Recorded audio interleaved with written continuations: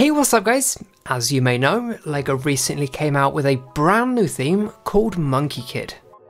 A bunch of sets have already been revealed and released, however they've just revealed an additional 3 sets.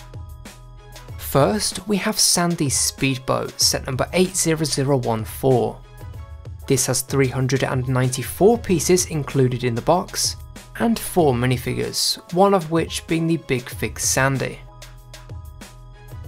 Next, we have the Monkie Kids Cloud Roadster, set number 80015.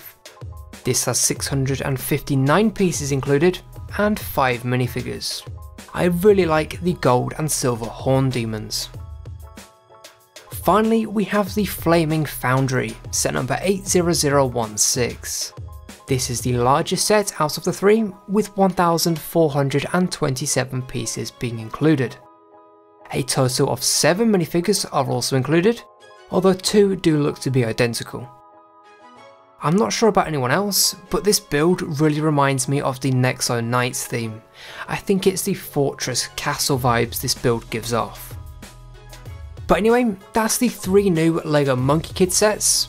As of right now, we don't have the prices or an official release date, although we do know that LEGO are going to be revealing a brand new Monkie Kid themed Brickhead soon, so be sure to subscribe for that.